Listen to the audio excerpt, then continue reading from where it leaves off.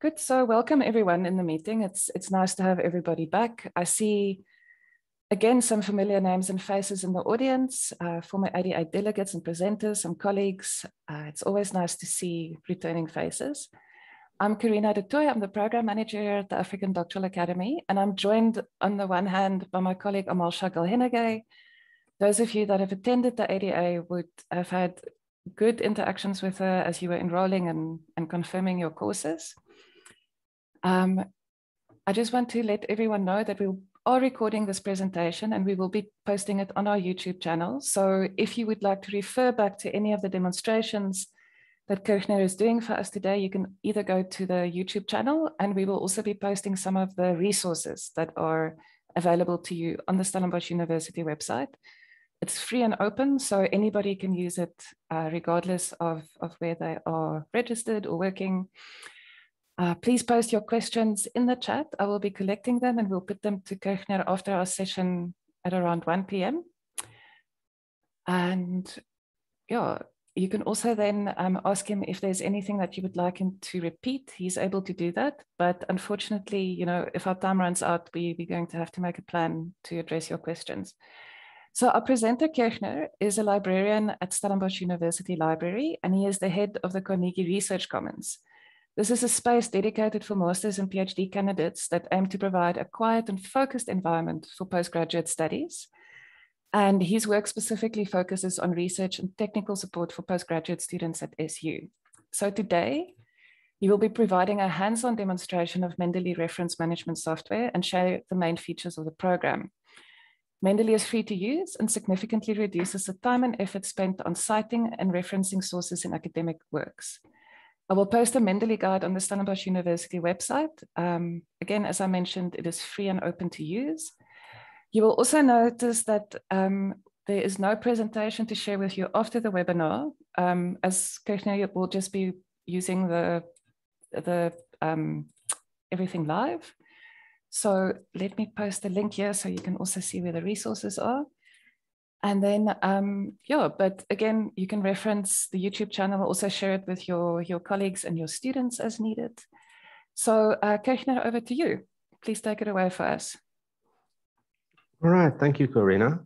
Um, yes, so uh, welcome everybody, and thank you for giving me the opportunity to speak with you all. Um, yeah, so today is just going to be a very basic introduction to Mendeley and the services that it offers. It's an open source platform that's free to use for anybody with some, um, to, to a limited extent. And then uh, after that, uh, uh, there are some paid options, but they are not really, they're more on an institutional level than they would be for an individual. But yes, so I'm going to get started. It's going to be, I'm a bit of a scatterbrain at times. So I do jump from one idea to the next, but I do have a certain pattern in how I present. So hopefully, if you're struggling to follow, just uh, say so. If I'm talking too quick or I go too fast over something, please um, just ask uh, Corina to interrupt me. Right, so I'm going to turn off my video now, and then I'm going to share my screen.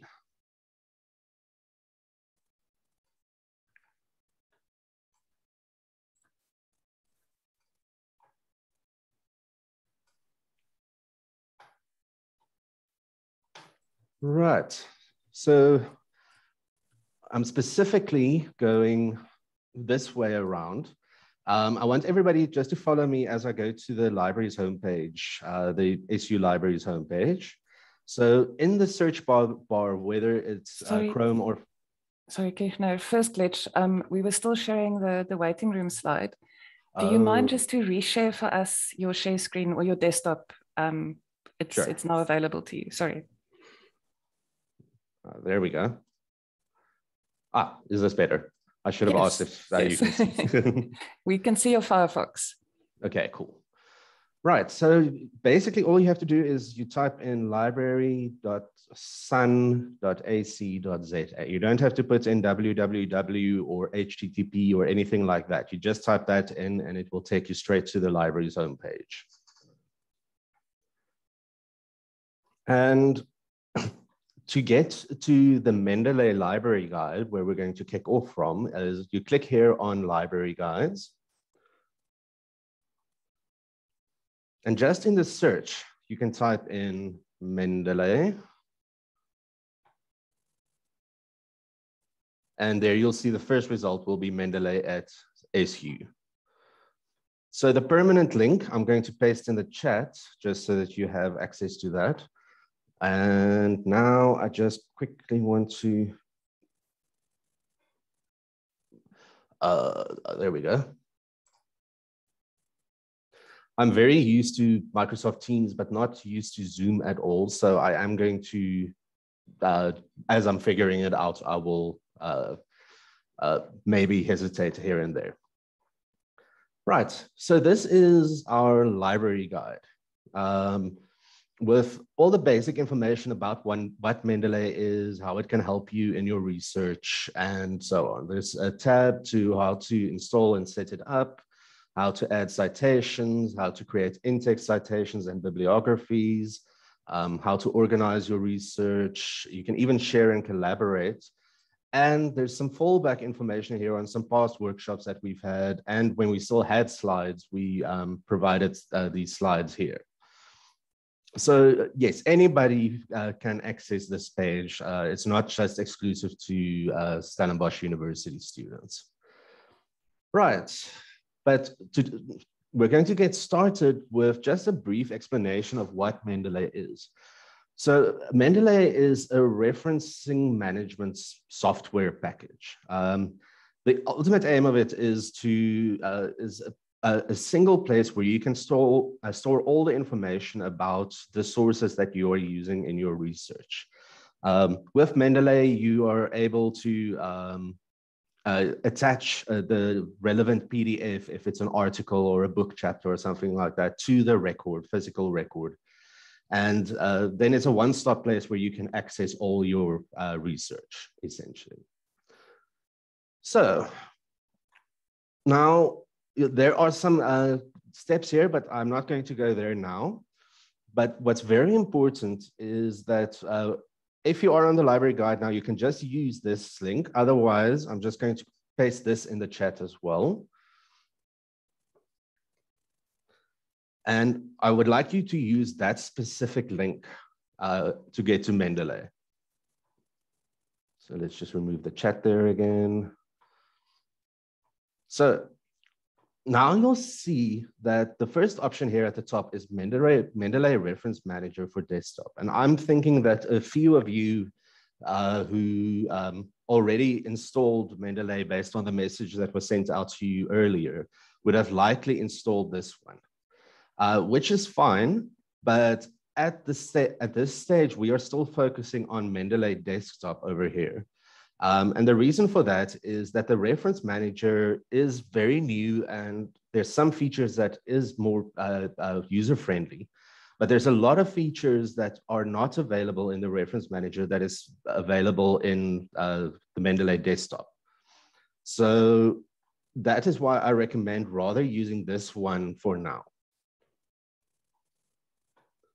but I wouldn't worry too much about downloading this specific one immediately, um, since uh, uh, you will be able to follow on the reference manager if that's the one you've already created or downloaded. Right, so then, yeah, you just click on download Mendeley desktop for Windows uh, or Apple, depending on what uh, system you're using. It's even available for Linux. And then you can just save the file and you follow the steps from there. So I'm not going to do that now because it's already installed um, on my computer. Right. The next step that you would do here on the Mendeley homepage, once you've downloaded and, and installed the software, is to create an account. And that you do by clicking right there at the top where I just clicked. And again, now, because I'm already uh, um, connected. Basically, uh, it just immediately takes me in. So I'm going to try just to show you what it looks like.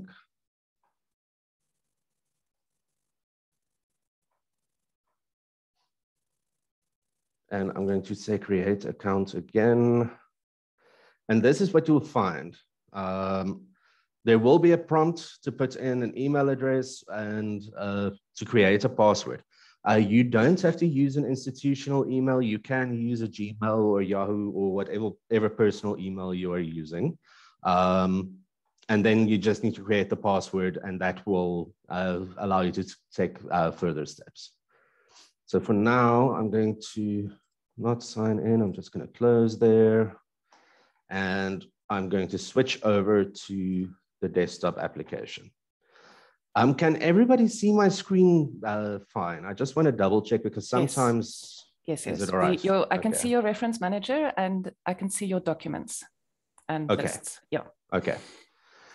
Right. So once you've signed into the Mendeley desktop, this is the, um, the layout of the application. And just to give you an idea of what's what, on the left-hand top corner is the, your library. The top one, all documents, is where all of your references are can be viewed. Uh, there's a section that's recently added, that's recently read. You can even make mark some favorites. Um, and if you have your own publications, uh, they will uh, most likely fall here in this section as uh, in this section. But you can also create folders, subfolders for different purposes. Um, so uh, depending on what I'm doing, I'll use uh, create different uh, folders. The other very, very nice um, feature is the groups here at the bottom. Uh, you're allowed to create up to six uh, groups, Mendeley groups, and you can then invite anyone uh, to, um, to that group and you can then collaborate and have a shared uh, database to work with. So just to show how that would work, I'm just going to remove this one since that was temporary. And now you're going to see there's all kinds of little things operating here. And that what's happening there as well is every time you make changes with Mendeley, um, there's some synchronization that has to take place with the cloud bases. So that's the other nice thing about Mendeley is that um, all your references, everything that you input on the desktop application gets synchronized with uh, the on, uh, online platform. Uh, and so it is secure, you won't lose it, um, and it, you will be able to access it on any other computer uh, if you uh, go via the website. Right, so now let's create a group. Uh, let's say ADA 20 October. I'm going to create the group. And just for example purposes, I'm going to add Corina. Uh, Corina, you're Sia Toy. That's the one, yes. That's A. And I'm going to send an invite. And on her side, she'll get an invitation now to join and collaborate on this group. But uh, for the practice, Karishna, sorry, I'm actually Ooh. Corina at Sun. Um, I just thought you were checking my, my name and surname. Oh. Uh, okay, so please send again. Um, okay, okay. Yeah, yeah. But I do see, and I think this might there's, be... There's another Cedar toy at the university, so she'll also get the invitation. might be a bit confused by it. Uh, so just Corina at sun.ac.za. But I am seeing here something, and this is also what does happen.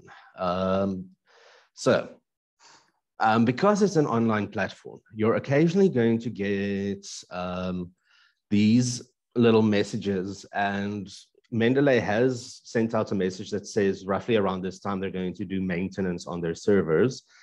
And usually they say it will take about an hour, but then to sort out all the bugs that have been created by that maintenance, it might take another day or so. So I'm thinking this is what's going on now. Um, so that's why nothing is changing here and it might affect uh, us a bit later. I'm just going to see how that goes. So for now, I'm just going to focus on some other features and then I'll get back to the group a bit later. Right. So the most important thing to take note of here is your uh, reference list.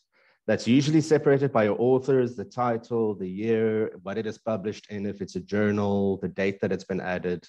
Uh, you've, here you've got a nice little drop down of what uh, it would look like. Excuse me. Kirchner, sorry, can you just show us again where to add the group, create group? Uh, it's here at the bottom. Ah, uh, so you have to scroll. Okay. Yes. Perfect. Perfect. Oh, there we go. Now I see 8820 is there. Wonderful. So yes, all these will have different scroll down little button or areas depending on how um, how many folders and things you've already created. I think for anybody new with it, this will there will be very little of all these additional things. Um, so, but I see now the group has been created, but I think I should maybe just uninvite. Nah, never mind. Right. So, and once you click on a source here, you'll see here to the right, you're going to get all kinds of information. I'm going to expand that a bit just to make it a bit more readable. You'll see that there's immediately the type, what kind of journal uh, or what kind of source we are working with. Then you've got your title and you've got the authors. Note here how it is typed in. It is the surname, comma, and then the initials of the author. Um, the other option is to actually write the person's names out. You can do that. And then uh, depending on what referencing style you are using, um, Mendeley will automatically fix that. Um, so you'll see this is now what it looks like uh, um, to just give an indication that this is SUJV. And then you've got your journal title, you've got the year of publication, you've got the volume, you've got the issue, and you've got the pagination.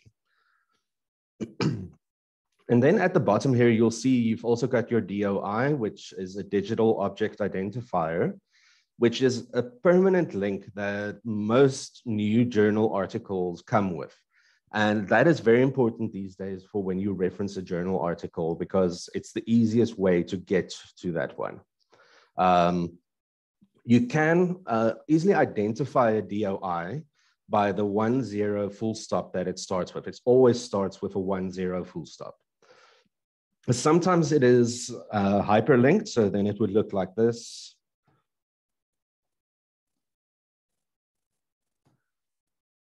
And that you can copy just like that. And nine times out of 10, it will take you to the source. And here you'll see now we find it. And that is why this little link is very, very important these days. Right. So now let's, before we continue here any further, um, I first want you all to do something else as well. Under tools, you'll see these, these, these two little features. The first one, install the web importer. Okay, so if you click on that, what's going to happen is it's immediately going to take you to um, the extension for uh, Mendeley, uh, the Mendeley add-on on your browser, whether it is Chrome or Firefox or what you're using. And then you just click on that, get web importer for Firefox or for Chrome. And there will be all kinds of little features here. I already have it installed, so I'm not going to do anything with that now. And I'll show you now how that is relevant. Um, I just want to. Corina, do, uh, how do I hide the little um, control bar at the top of the Zoom?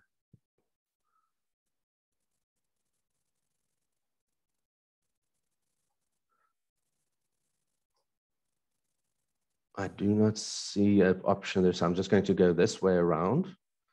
And I'm going to close those two, and then I am going again to the library website.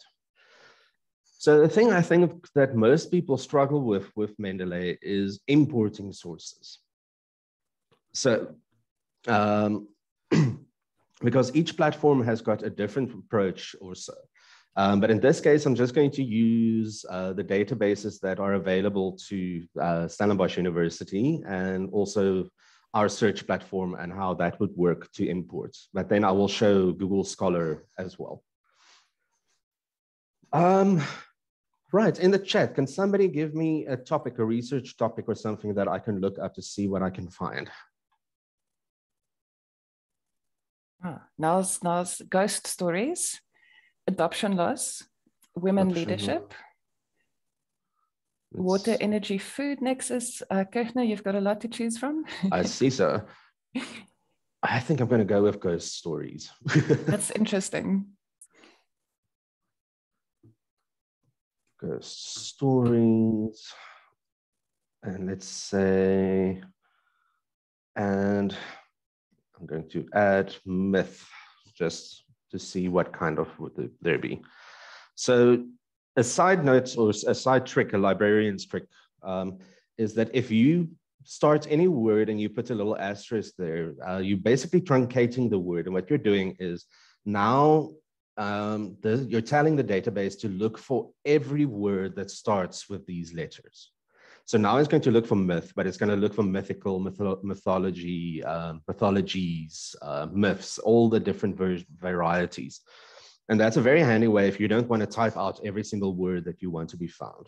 Because remember that uh, academic database like this is not like Google where it's just going to assume you also want those results. It will only give you the results of what you are typing in.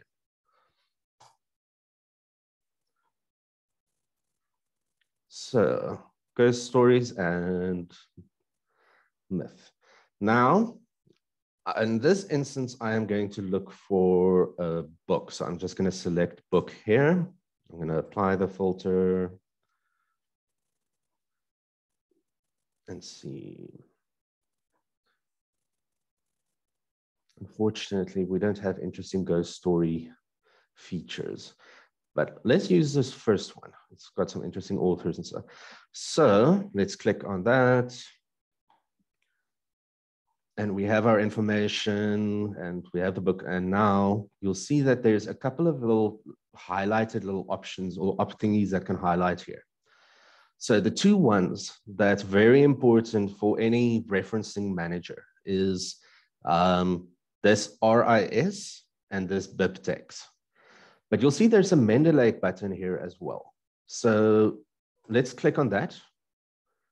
And now you'll see what can happen is it's going to say it's this little export failed. And the reason it failed is because pop-ups uh, are blocked on most uh, platforms. So all we have to do is say allow pop-ups. And now what's going on?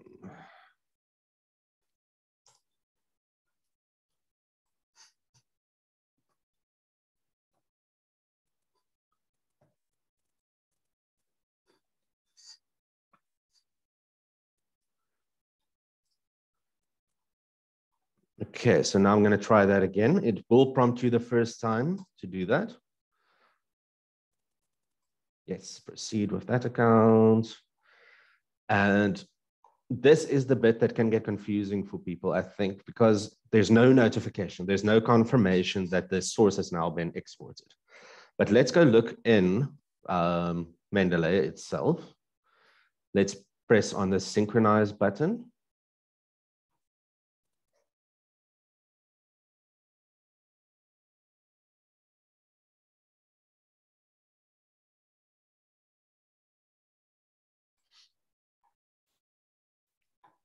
And let's just press here. Oh, it's a pity that Mendeley is so slow today. Murphy's Law. Mm. So while that is happening, I'm going to talk about RIS.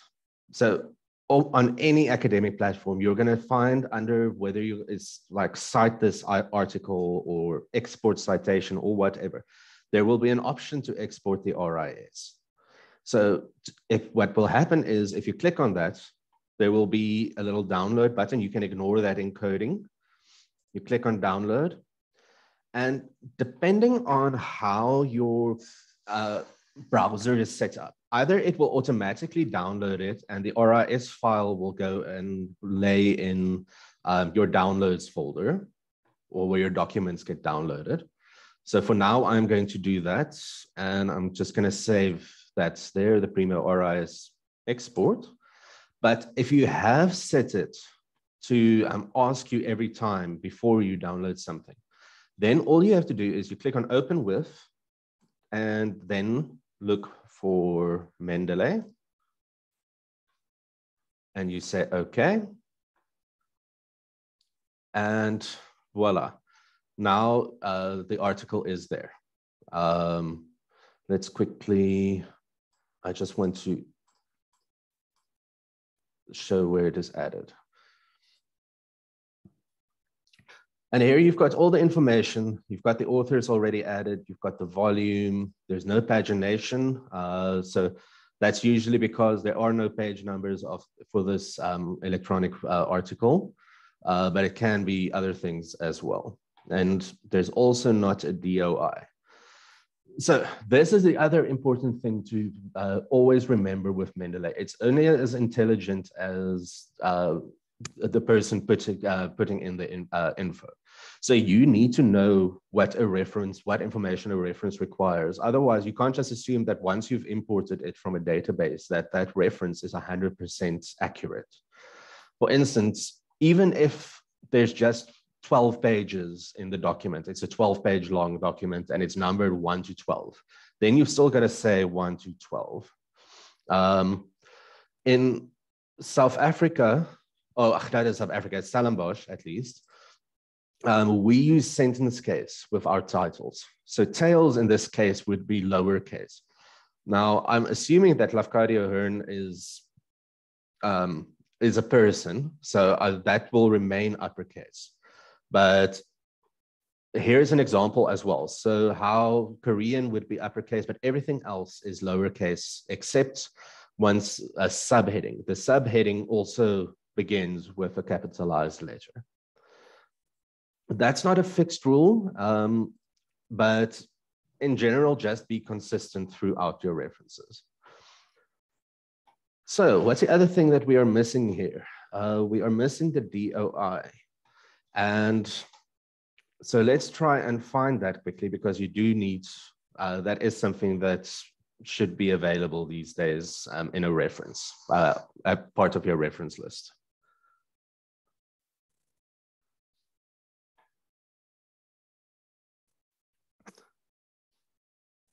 Okay, here we've got the PDF. I'm still trying to see if there's any information here. Does it look like it?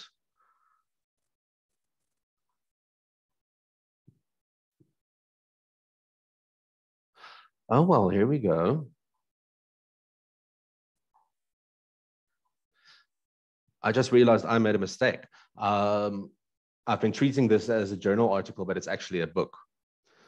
So here we've got the right information, then the page numbers isn't necessary and the DOI even isn't necessary. Um, but what would be is just to make sure that the city and the publisher is correct. Uh, some people uh, are happy if you just say Princeton's U, Princeton UP, or uh, UP would stand for University Press, but you can also just keep it as is. But because this is, yes. Sorry, Kirchner, I'm just anticipating, I have so many questions, um, but I'm anticipating that would it, would it be possible for us to also look at ins inserting a journal article into the database? Yes, yes, yes, yes, yes. That's going to be the next perfect, one. Perfect, yeah. thank you. I just, yeah, I, I went the wrong way around. Usually I do start with a journal and then I do a book after that. So that's Murphy's Law. yeah. so but what we do have here is a book that is available electronically.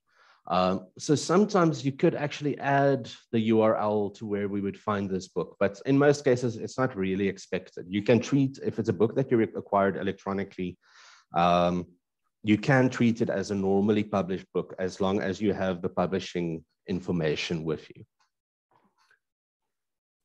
Right, so this one we've added now let's have a look at another way of acquiring information. So for that, I'm going to our databases A to Z list.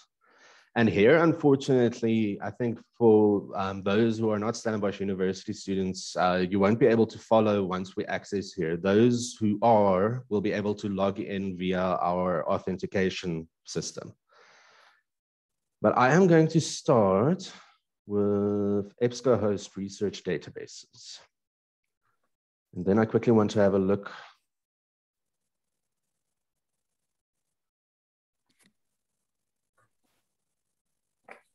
for other topics. Pathological reconstruction. I'm going to look for that.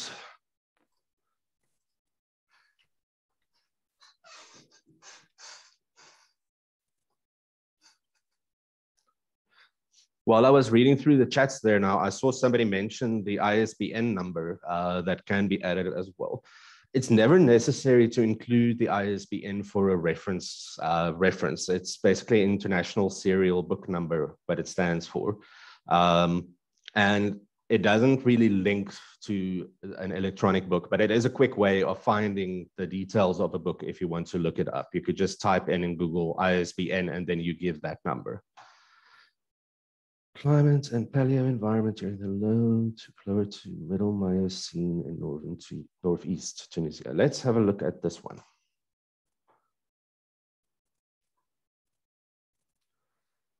So somewhere on this page, uh, there's going to be a couple of additional things. Firstly, there's not a PDF attached, but we've got this little thing, and I'll show you that information now as well um, which is very, very convenient if there's no direct link to a PDF. But what we're looking for now is this little button, cite or export. Both those are actually options that you can select. If I click on cite,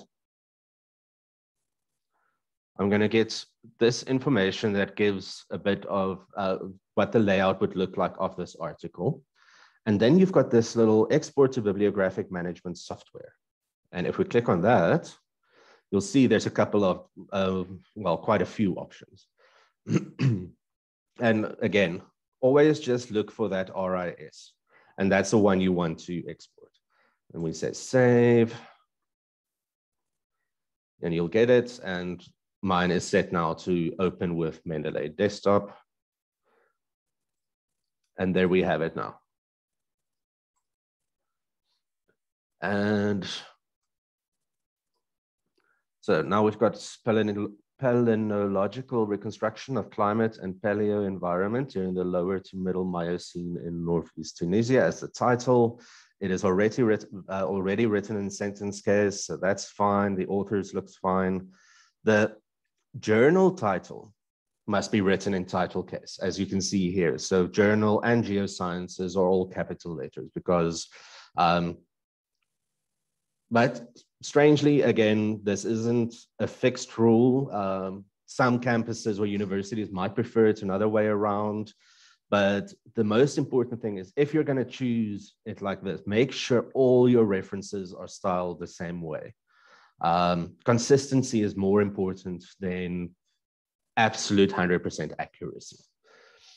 So we've got the year of publication, we've got the volume, we've got the issue, and we've got the pagination. This is a massive journal. And we have our DOI here at the bottom. But I want to, yes, I'm interested in this article. I've now uh, sorted it, but I actually want to get a hold of the copy. So via EBSCOhost is a couple of options. You can say search for more info on this title in Google Scholar. Or if you do have EndNote Click, um, let me type that out. You can just Google it and install it. Um, it's a very nifty little feature that immediately um, uh, gives you access to the article. Then you just click there, view PDF.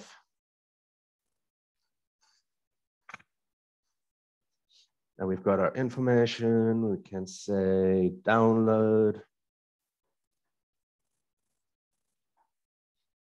And I'm just going to save that under downloads for now.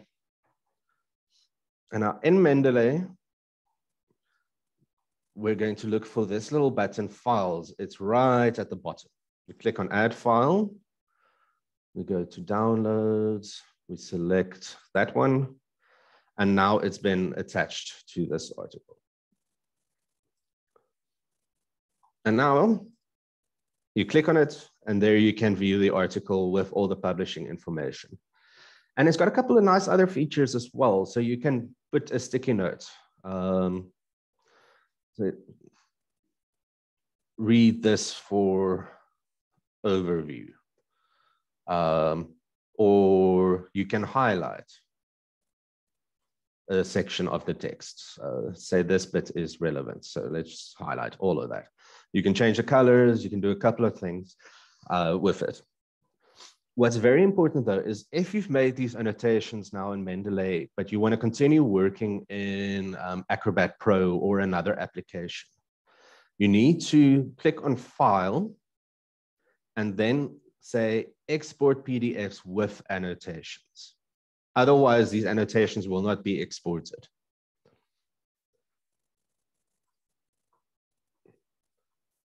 Right.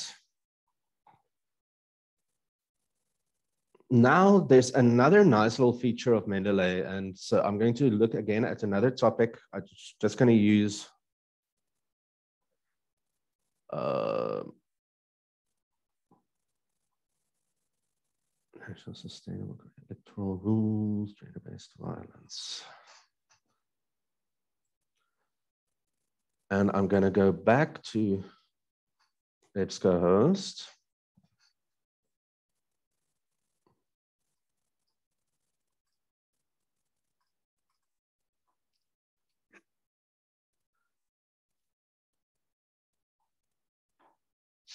I'm just looking for one that has a straightforward PDF that I'm not seeing now. So let's use this one. Let's see if EndNote finds the article. It has, yes.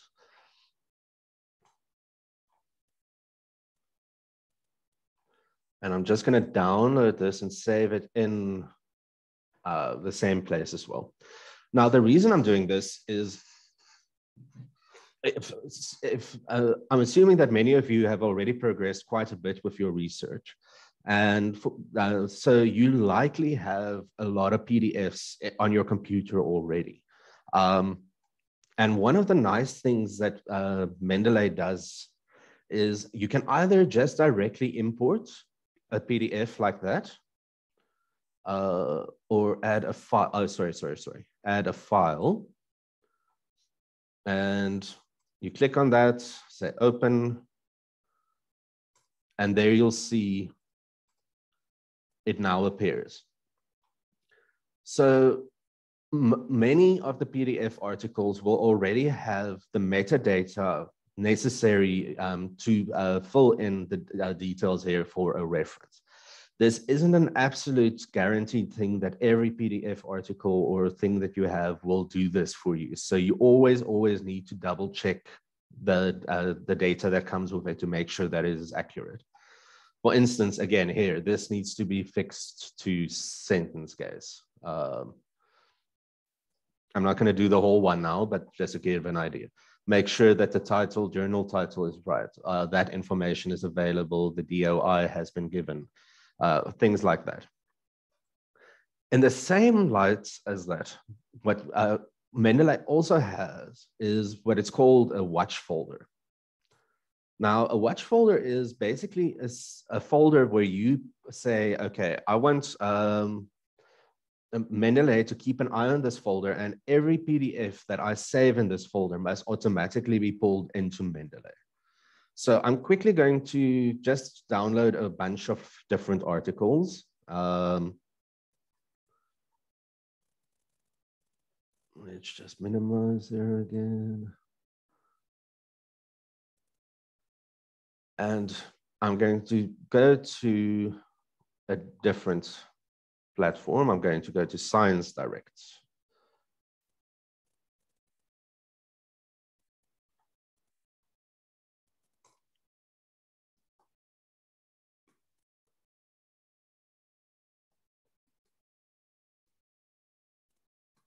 I don't know if I'll find many on this topic in South Africa, in Science Direct. No man, what's happening now?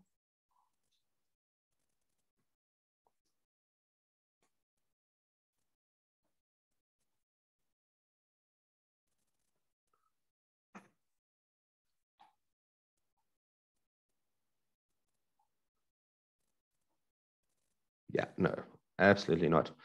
Interesting, the mining mine closure in South Africa. So that's probably thinking about ghost towns. Um, but so let's download a couple of articles, just random. ones. And I'm going to say download eight, eight articles. So if you've selected multiple articles to download, it will come in a compressed folder like this. And now I'm going to extract them all. And I'm going to select, I'm going to go into documents and I'm going to create a watch folder.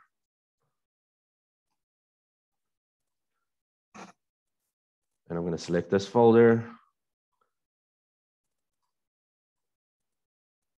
And I hope now that they've all been extracted.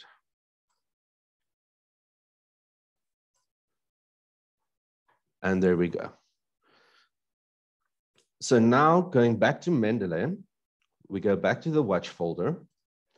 And now I need to generate, indicate which one is that.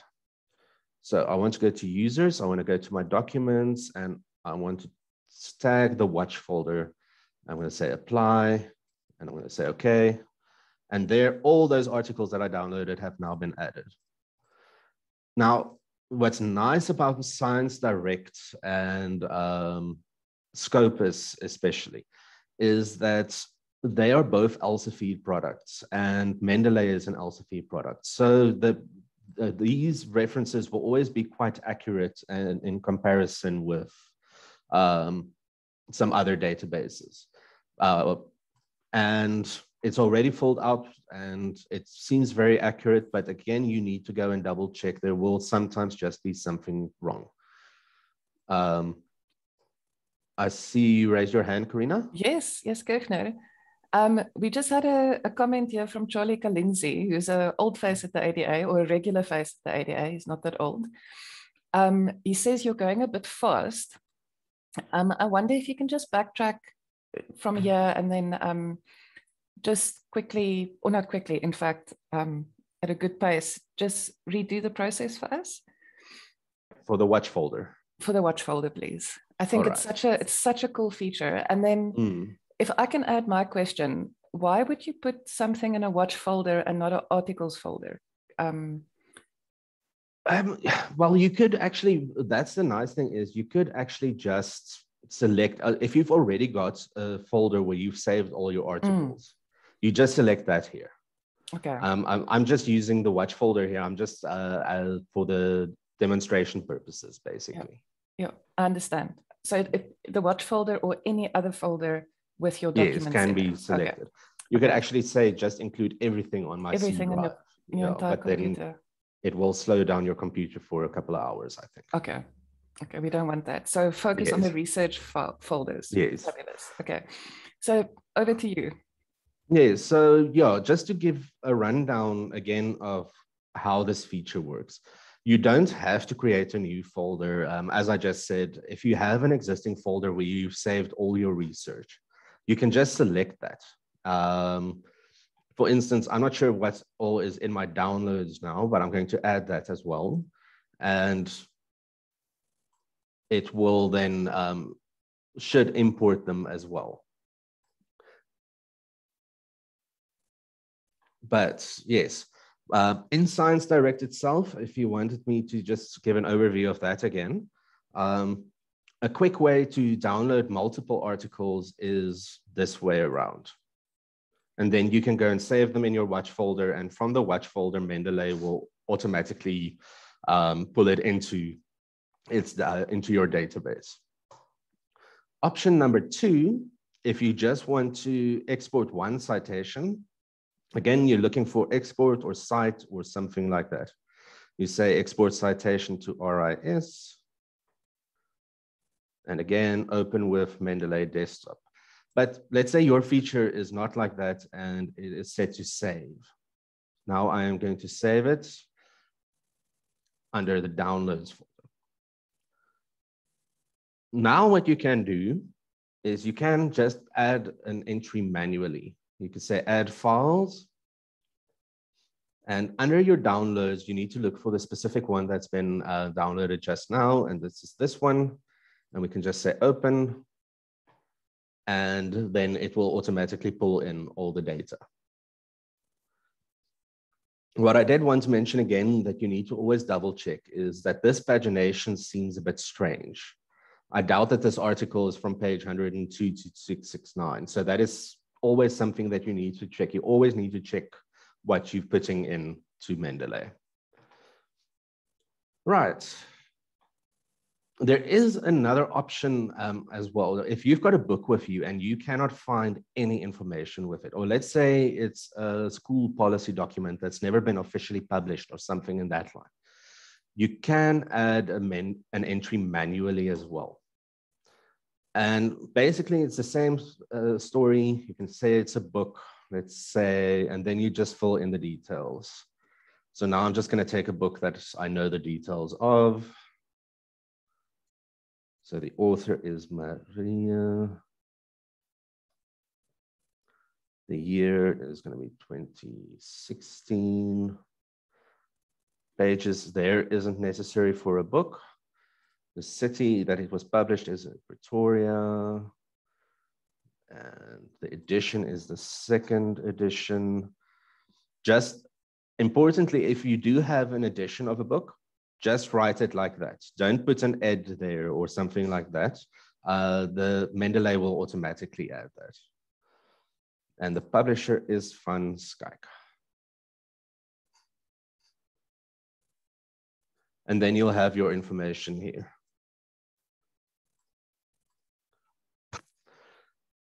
So there are very many different ways of importing sources to Mendeley. Um, the important bits uh, to mention is, uh, again, always look out for the um, RIS symbol. Um, the other option that you would have, uh, especially with Science Direct or some um, other databases, is the Mendeley web importer that I referred to earlier as well. And this is also an easy one. You need to sign in the first time that you use it. And sometimes it just signs you out automatically. And you can select all of them. And then you can select in which page you want. Do you want it just in general or do you want, where do you want to put them? I'm just gonna say like that. So I'm gonna say add. And interesting that it has failed now. That is again, I think, the problems at Mendeley's side today. If things like this happen, just try again in a couple of hours. It might very often just be a server issue or something like that.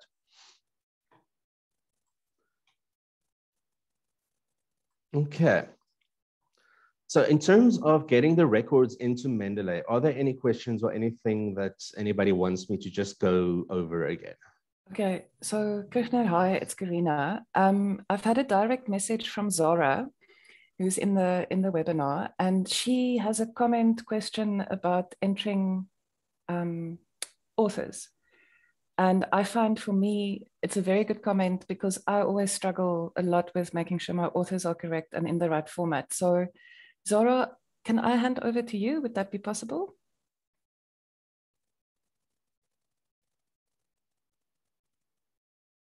Let's, oh, um, Amalsha, can you help us to unmute Zara? Um, I know that's a setting I didn't do, and I'm not entirely sure. Okay, wait, Murphy's Law. I'm just gonna go down. So Hi, I think I'm I think I'm good. unmuted now. Good, good. Cool. Hi.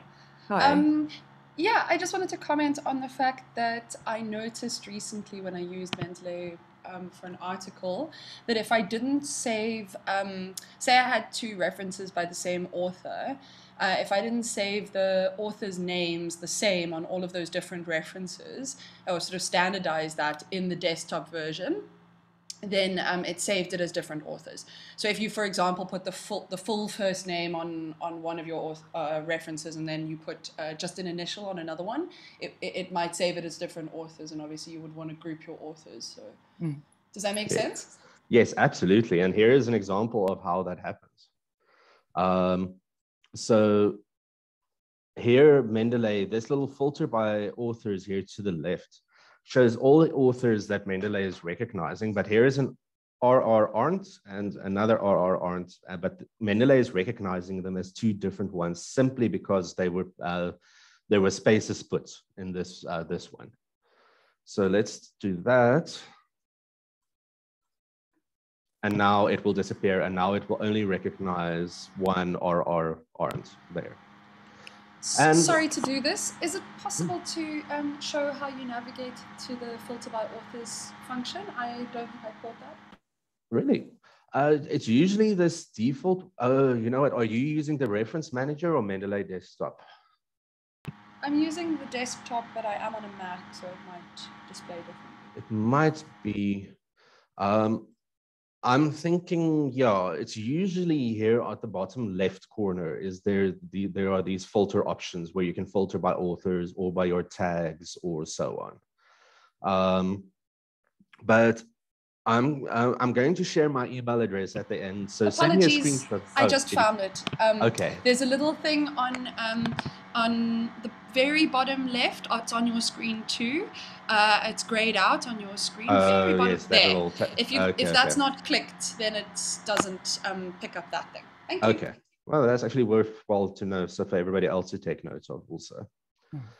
So here's a couple of, here you'll immediately see. So this, my reference list is a very messy one and uh, for very specific purposes because I'm using it for demonstrations. But for instance, what's happening here, ooh, here we've got nearly 30 different authors, but it is big and uh, Mendeley is treating that one a bit strangely as well. And as uh, uh, and those are the things that you need to keep an eye out for. Even this one, AAVV, is also incorrect. And one has to question, how did that happen? Why is that there? And so, and this is again what happens when you just import uh, your reference, but you never actually check uh, the accuracy thereof. Also, once you've done a filter or a search like this, always make sure that afterwards you just click on this clear button because otherwise we won't be able to see your other references. Now, while I was looking at that, there's another thing. So you can sort your references per um, folders uh, to keep them uh, tracked. But a very nice other feature is to tag your sources. So you could say here, let's say, I'm going to just say ADA in front, just so we know which tag it is. Let's say chapter two. So now you know this article is relevant for chapter two. Um, and let's say here, ADA conclusion.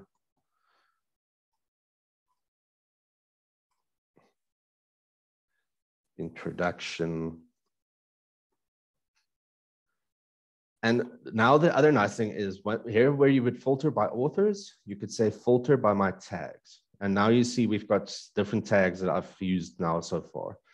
You click on introduction and it shows you those ones, conclusion or chapters. So the ones that has been tagged. Right, okay, so we are running a bit short on time. Um, so the next step that everybody, uh, that I want everybody to do if they haven't yet is to click on tools and say install MS Word plugin. So it is going to prompt you to close applications that are open at the moment, and then it will automatically close them. And then you should get this little message saying citation plugin for Microsoft Word installed. The next thing that I need you to do is to go to view and citation style and now you'll see here is a list of the default st styles that are available. Our Stellenbosch University Harvard style is currently a bit on the faulty side. So we're just using the University of Cape Town Harvard because they are basically the same, except for tiny, tiny little differences. Um, but you could also, let's say you are looking for a specific style that your university has a specific style. You can click on get more styles. You'll see these are the ones that's all been installed. You can say get more styles here, and then you can search for it. So I'm just for example, going to look for Northwest University, Harvard, and there you have it. And then you can install that and use that going forward as well. But for now, I'm just going to use the UCT one. Now that's been selected. And now we can go to Word.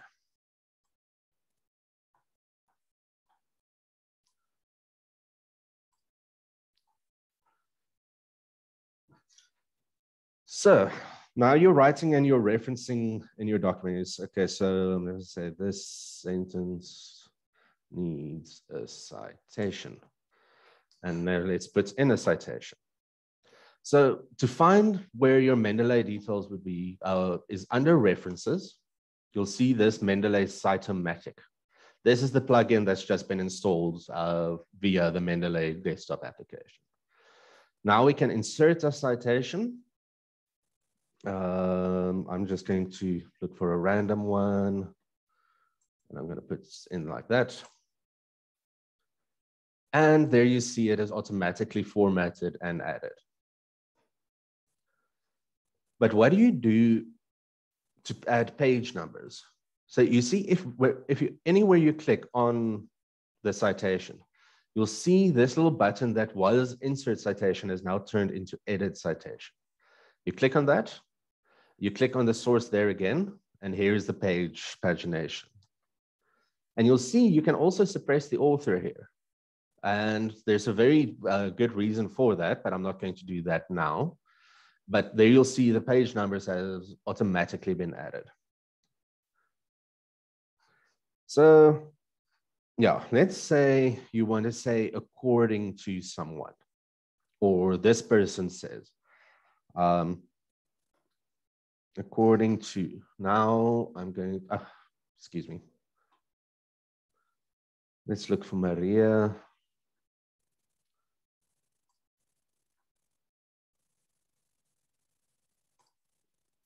Again, this doesn't look right. So what you can do, and this is another nice feature of um, Mendeley, is you can uh, delete something in the citation. And then if you click out of it, you'll see this little pop-up coming that says, this citation has been manually edited. And then it asks you whether you want to keep the manual edit or not. Then you just say, keep the manual edit. And you can just say Maria. And this is also a way for you to add the page number. And you can do that. If you want to add multiple people, multiple sources, so then we're going to look first for, let's choose that one. And then you can say, as you can see there, as additional reference.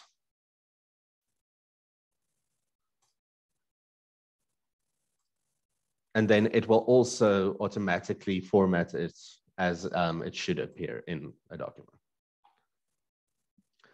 And then once that is finished, uh, you can, at any place where you go, let's say you want to uh, create the reference list on a next page. So we put in a page break and then we say insert bibliography. And here you'll see um, the information appears as is. So part of the faulty little things that happens with Mendeley because it is a bit tricky. So you'll see here is this looks a bit funny. Um, and remember when I said that you don't have to add ED when you indicate the addition of a document.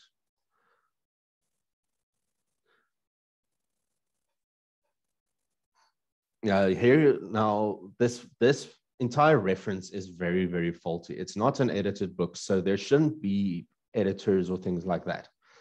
But to, if I'm going to fix this here now, let's say there, I'm just going to say eighth edition. And I'm going to remove these guys because they shouldn't be there. So now it looks a bit more correct, but look what happens if I click on refresh now. Everything that I just changed goes back. So unfortunately, where you can make changes in in-text citations by just typing over them, this is doesn't work in the reference list itself, and that is something you need to uh, always keep in mind. So any issues in the reference list need to go be and fixed in, um, in Mendeley itself. So this is the one that I just cited.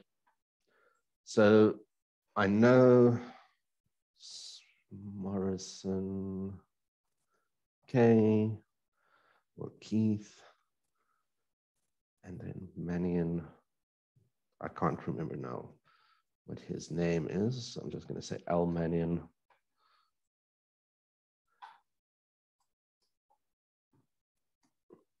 I'm going to remove these editors.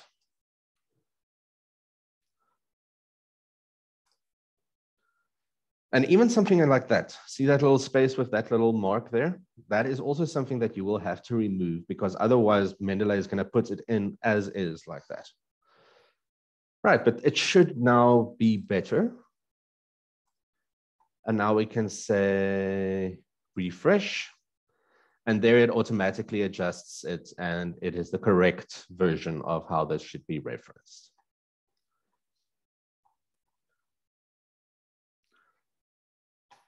And that in a nutshell is the basics of Mendeley. I uh, know there is still quite a bit and uh, we have some time left to go over some more things if any of you would like. Um, a final thing I just want to point out is that once you have finished working on your document, and you're basically the next step is going to be to submit it and to print it. Uh, you need to submit your document without these Mendeley fields that they are active. So in order to do that, you'll click here on export as, and then you just say without Mendeley fields, and you will be prompted to create a new document and you need to save the existing document. And then you'll have that copy. And the benefit of that is, let's just save this one somewhere random and save this one somewhere random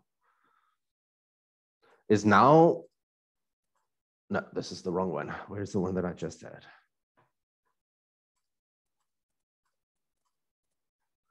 Well, that's annoying. But the benefit of that would be then once the it's been exported and uh, there's no more fields active, you can go and make minor changes in your document um, in your reference list, and those changes will not be reset. But you won't be able to continue inserting citations because you've already now put in everything. If you uh, miss anything or if you create a new um, citation now with Mendeley, is going to generate a completely new reference list as well. So this is why this is something that you need to do right at the end. Right, okay, and there I am going to stop uh, because I think it is quite a lot of information and I'd rather now just focus on what you guys would like me to cover again. Excellent. Thank you very much, Kirchner. I know we're a little bit over, but I, I did ask you to repeat that, that one session. Uh, Corina, I think uh, you're muted. Oh, I'm not muted. Can any is anybody else struggling to hear me? I can hear you, Corina. Okay. Uh, Kirchner, can sorry, I'm trying again. Oh, um, Murphy's law. Let me just. No, it was my volume. Okay. It was okay. My volume that okay. was muted. Sorry. So I was I was very thrown now. Kirchner, thank you. I've learned so so much. Um, and I just love when all the good work that you put into making your references correct and, and complete pays off when you start inserting them. And um, I just think from my experience, the place I always get stuck is with the authors. And I'm going to start with the first question of my own is what should we rather do? Do you do you have like the um, the reference that's up on your screen right now with Fuseni and Nulls, do you put the surname comma name or surname comma initial? What is initials full stop, no full stop? What what is the I know you have to be consistent throughout, but what is the best practice?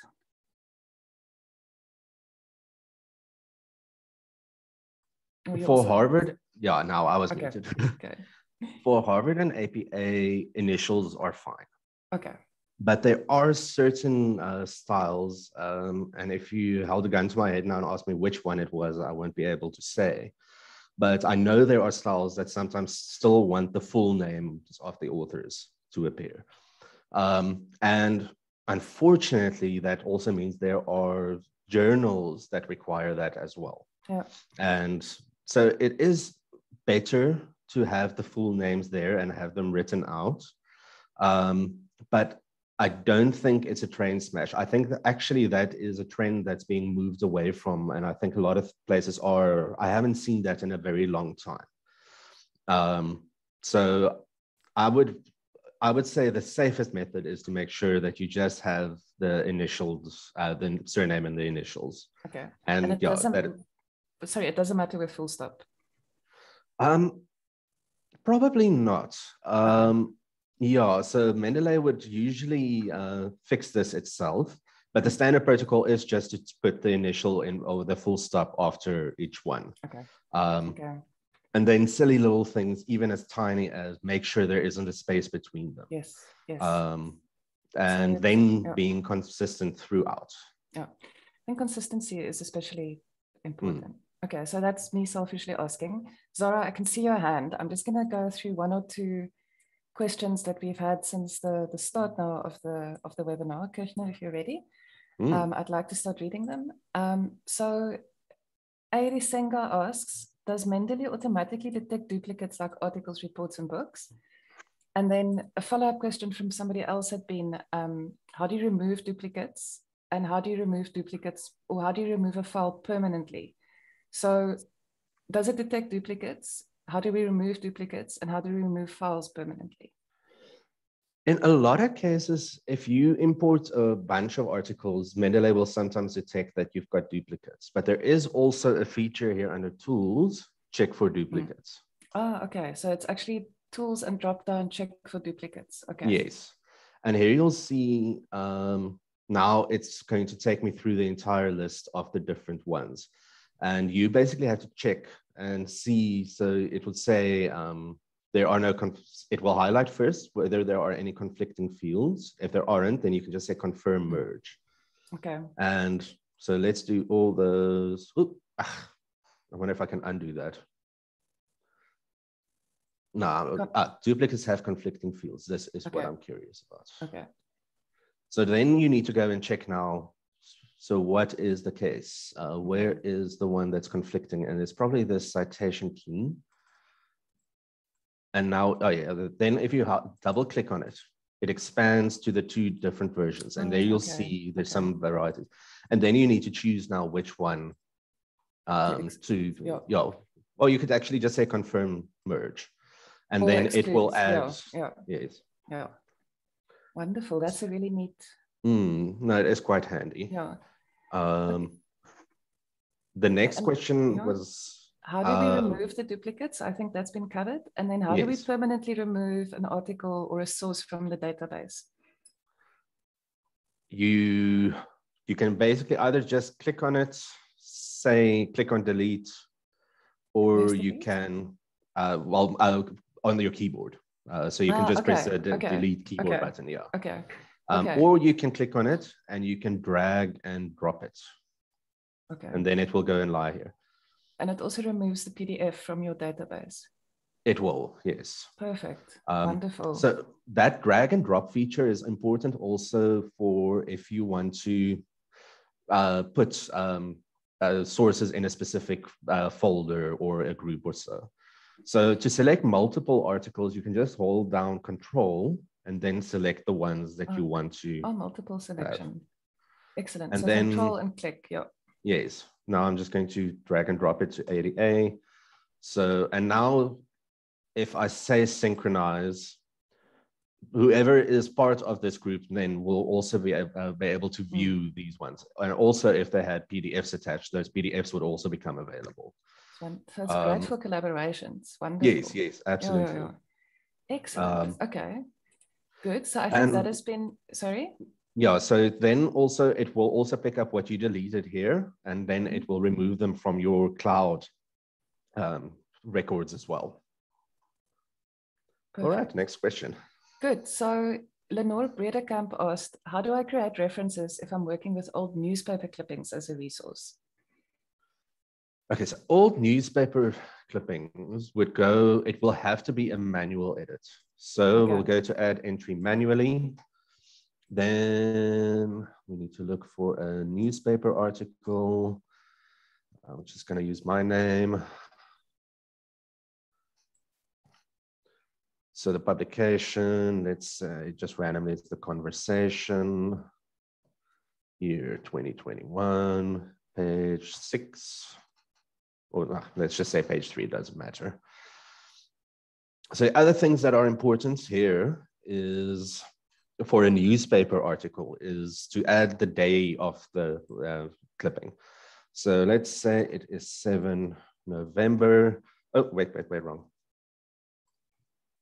Oh, okay. And you can abbreviate it like that uh, to three letters. Um, I think that just because references can become incredibly lengthy at times. Mm.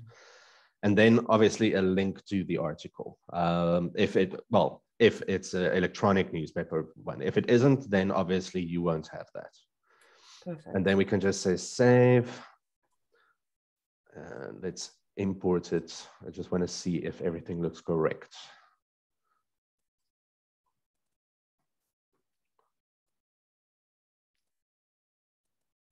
Oh, I didn't put in a title for that.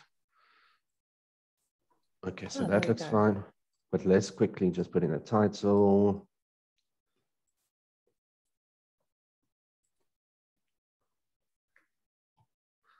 Said no one ever. oh, if you're a librarian. and then we can just say refresh and let's see. There we go. Okay, so Amazing. what bothers me there is even though there is a month tab, it doesn't appear there mm. and it was supposed to. So quick bypass for that is, let's just go here again. Oh, just give the page, hold up. So this is again something that will have to be checked afterwards because it's it's supposed to appear there and it's supposed to especially appear after the conversation uh, or the title of the journal. So pages for a newspaper wouldn't be less important. I would rather than be flexible here and say 7 November there. Mm. Um, because I know that is now where the field is going to lie. Okay. So you can play around with the fields if you know, okay, so this is roughly what the layout is going to be. Then you can put in information that's not technically that field's required information, if that makes sense. So now, yes, now I've put it there. Mm. So it does say 7 November now, um, and that should be fine. Um, but I actually need to go and double check and this is also a worthwhile source to look at uh, for anybody, I think, because I think it's quite a comprehensive list. But remember that it's specifically tailored for how we reference at Stellenbosch University. So on the library homepage, here under quick links, referencing. Okay. So again, and then you'll just yeah, yeah, work with the link that we supplied earlier. Yeah. Yes, yes. So the library homepage. And I think, let's see, Harvard, Stellenbosch examples. And here you'll see is a long list of examples of what it should mm. look like. So article, newspaper with an author. So here is what it would look like. So we do have the date there. The date is written out. Again, that's not a fixed rule. You can do it the one way or the other, just be consistent. Yeah. And then, but I do see the page number page is number. added there as well. Okay. So that means that this Mendeley field or is uh, the exact layout will not be 100% mm. correct. And unfortunately, that is why we are having problems with our own Stellenbosch style. Okay. Um, because it's a very finicky coding system that you have to work with yeah. in the background. It's not for everyone. Um, yeah. so I'm also checking my colleague here, Brian. Thank you for for pasting the questions in. Um, so Kirchner, you mentioned this in the middle, and I, I feel like it in the beginning, and I, I, feel like it, it needs to be repeated. And we're running out of time, so let's see how many questions we can still take. Is there a major difference between Mendeley Desktop and Mendeley Reference Manager Online?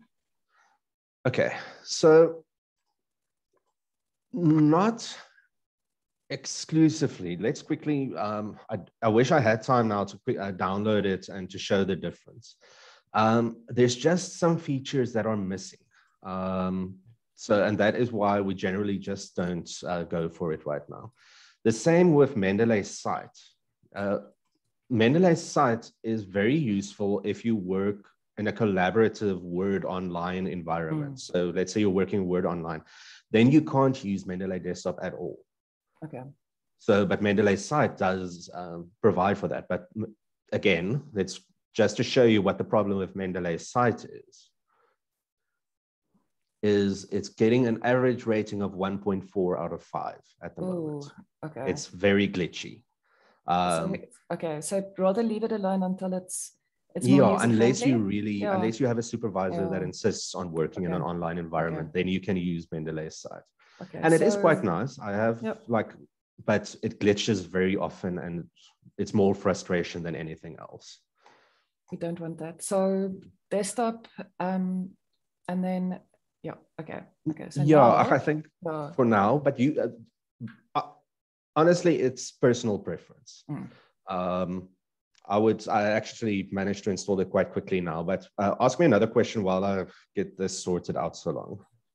Okay, so Lindsay Jones asks, Mendeley often doesn't insert the authors properly. For instance, if you reference it above, it will say et al, but thereafter it puts in the authors where it should be the other way around, like fullest to start with and then et al later. Hmm. How do we get the et al to work? I think that's quite a it, practical, yeah. It depends on the style, um, it depends on the referencing style that you've selected. Okay. Um, so let's quickly look for a citation that has multiple authors, or at least three. No, this one. Uh... Okay, so I'm going to look for Hagar.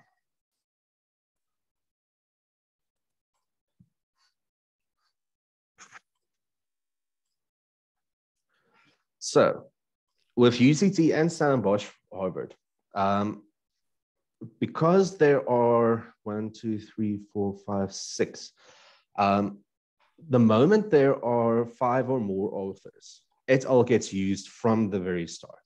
Okay. Um, if it's just three authors, so let's find an example of that.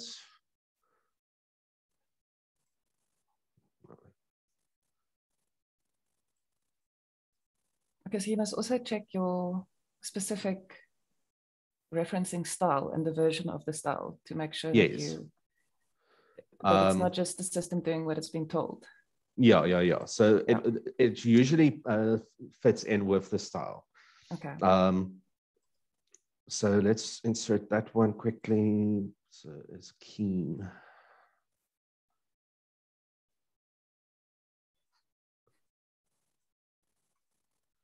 So there it will now say that at least, and if mm. I put it in again,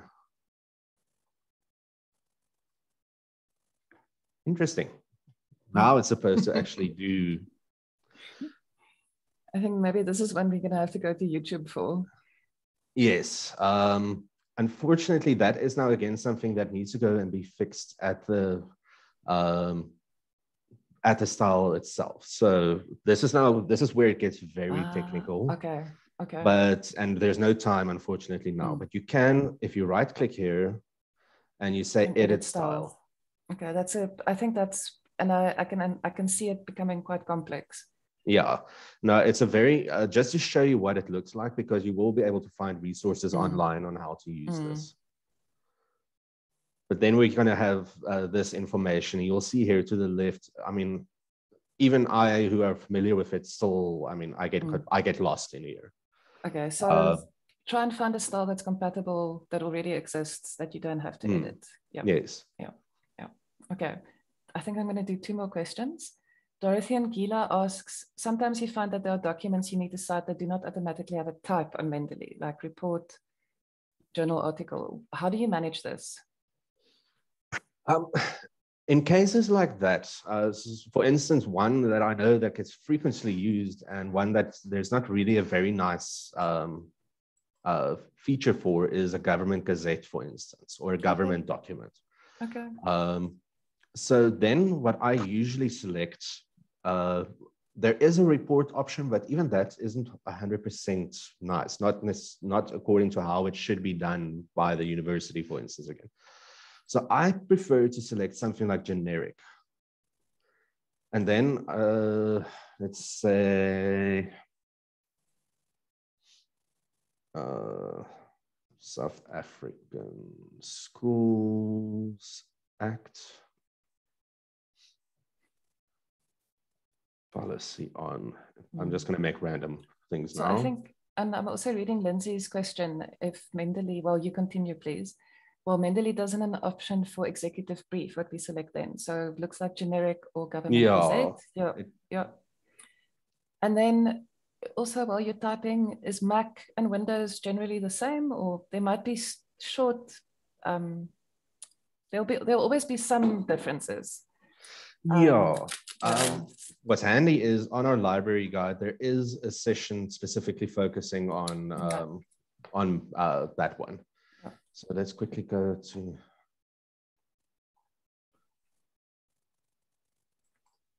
And then while you're doing that, Helen Amongen asks if you have to use another referencing style initially, how can I change to Mendeley without distorting my references?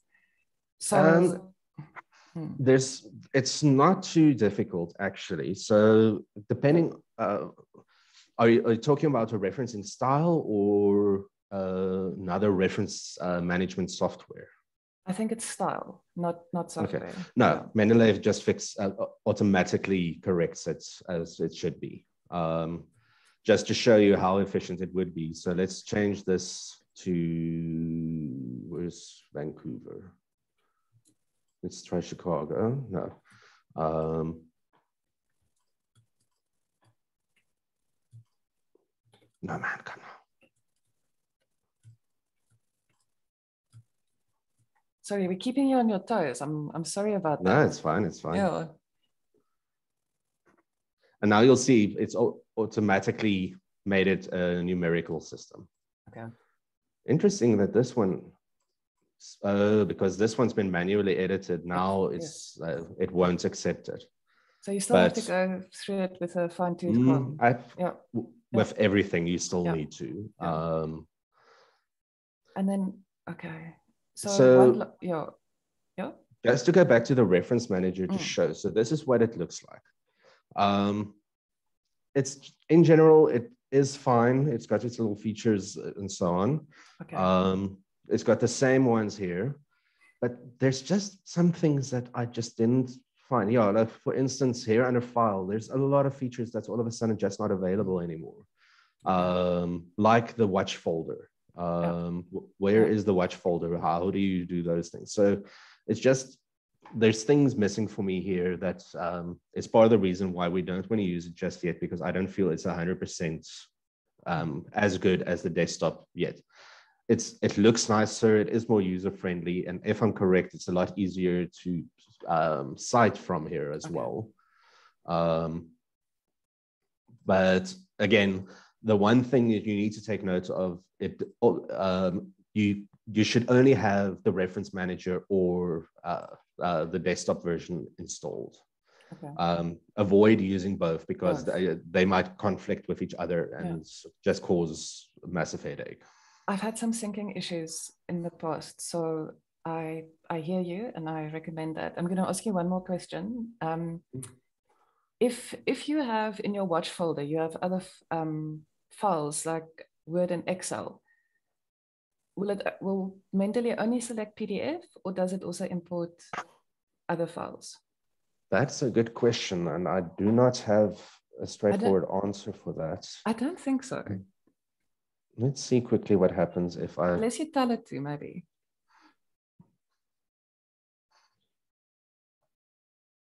What is Excel's? Um, EXE? no, EXE is execution. Um, That's- Excel quickly. SX. Sorry? XL is X. Oh, Excel Excel. is. Yes, Oh, thanks, there we go. Debbie. Thanks, Thanks. We read it every day. Um, Yeah, but it's yeah. oh, it's looking at the wrong platform. Ah, stop. Then let me just quickly, because time's running up. I know I will have an Excel folder some, or something. Well, let's put a Word document in and see. Oh, I'm not supposed to do that. It's, oh, let's do inquiries. No, no, no. Um, bec- this is a new laptop for me, Okay, so so, a lot of my stuff, yeah, it's all on the cloud. Um, Um, so let's see quickly. Let's just go and look at Google Drive here, my drive. Okay, I'm just gonna use this attendance list. I, it's very out of date, but I hope nobody will be able to see anything on it in case there's data on it. So let's just see, now we go to the watch folder, paste it.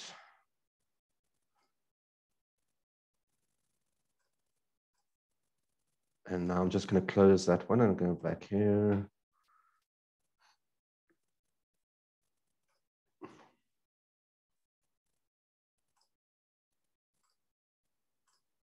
And yeah, so the reason for that is it specifically works with the metadata of the Okay. PDF. Yeah.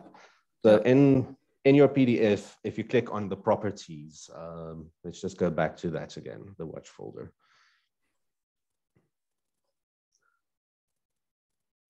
Because it also automatically populates the the the site citation information. Hmm. So it's been told to look for for certain information, I guess, and it Yes, might not yes. recognize an Excel document.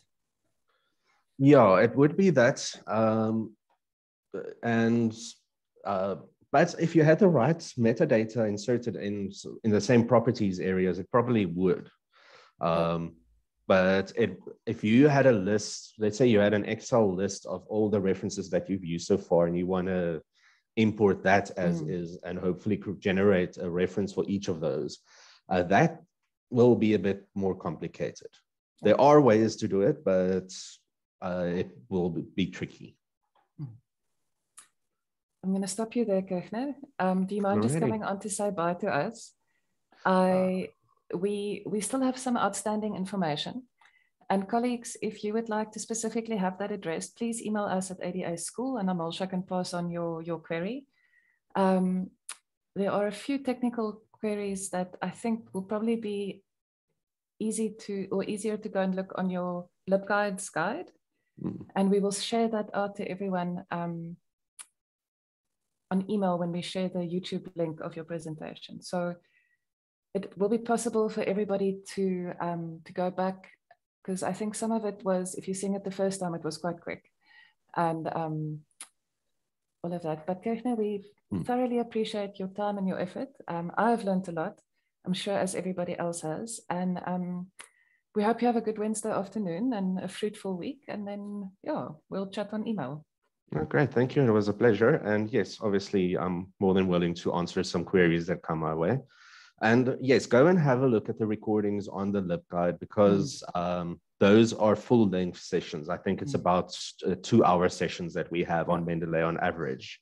Um, so there is things that I probably only scanned over or so. Mm. And it's free and open to anyone. You don't have to be registered at Yes, Stellenbosch. yes. It's an amazing you can- resource. even go and look on our YouTube channel. Uh, we've Oh, got a couple of, especially videos from our recent research week and Hmm. other ones as well. Let me just quickly find the channel Oh, you, link. you're, scoop, you're scooping our audience now, Kirchner. Trying. um, let's see quickly. SU libraries.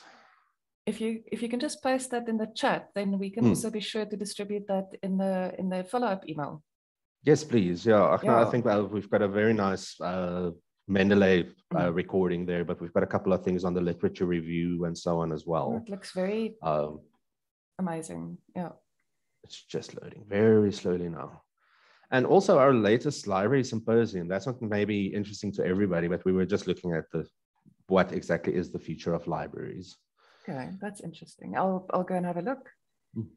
I'm going to, but I'm, I'm not going to keep you guys off. Here we go. Finally. Sorry, it was taking a while to load now. I'm just going to paste it in the chat. Perfect. And yes, that will take us, uh, take you to there.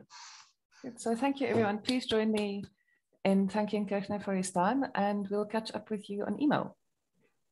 Great. Lovely. All right. Thank you, everyone. Goodbye. Bye bye. Bye, everybody.